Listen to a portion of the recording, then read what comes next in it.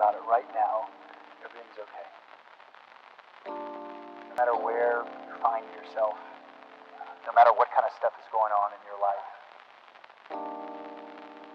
underneath it all, everything's actually all right. You're okay.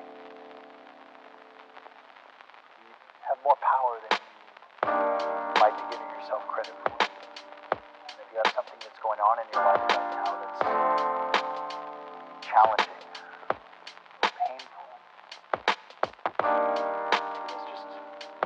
reminder to take a little bit better care of yourself. You're worth it. You can have this feeling